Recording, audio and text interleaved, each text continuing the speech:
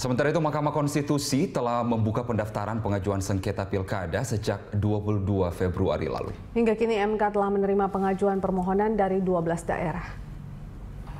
Sejumlah daerah yang telah mengajukan permohonan berasal dari kabupaten kota yang mengikuti pilkada serentak. Pendaftaran pengajuan sengketa pilkada di tingkat kabupaten kota masih akan dibuka hingga 28 Februari 2017. Sejauh ini MK belum menerima pendaftaran pengajuan sengketa pilkada di tingkat provinsi, termasuk dari pasangan calon gubernur dan wakil gubernur DKI Jakarta.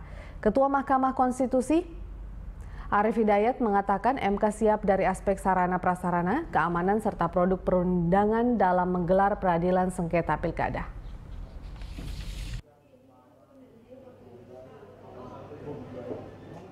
Mahkamah Konstitusi telah menyiapkan mekanisme dan tahapan penanganan perkara dengan mengikuti jadwal pengumuman penetapan perolehan suara yang telah ditentukan oleh KPU hukum acara, mekanisme, dan tahapan penanganan perkara perkada serentak oleh Mahkamah Konstitusi sebagaimana telah kita